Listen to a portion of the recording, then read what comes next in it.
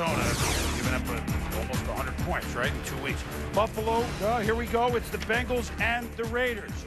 Corey Dillon, single game rushing record. He knows it's broken. Can he come back where Rich Gannon overthrows Tim Brown? 13 13. The Bengals are actually tied with the Raiders with eight minutes to go in the game in Oakland. In a game Oakland needs. Alvis Whitted can't hang on to this high pass from Gannon. Punt for the Raiders. Gannon throwing for only 103 yards. Jon Kitna rolls out to Chad Johnson. 34 yards. Two plays later, the Bengals, they're going to win it. Uh, oh, no. It's Phillip Buchanan. Could go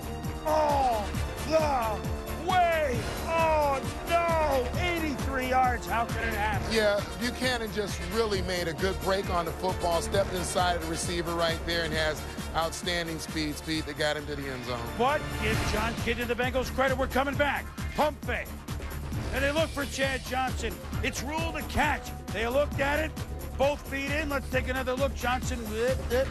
See those orange shoes? You can really Good see catch, Tom. good catch. It's key. Third and fourth, the eight. Kitna.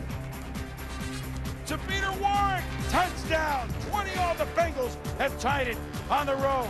Ensuing drive. Raiders. 45 seconds to go. Gannon. Charlie Garner. What a move. Out of bounds at the 38 and 24 yard play.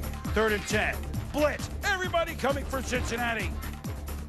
Incomplete, but flag on the play.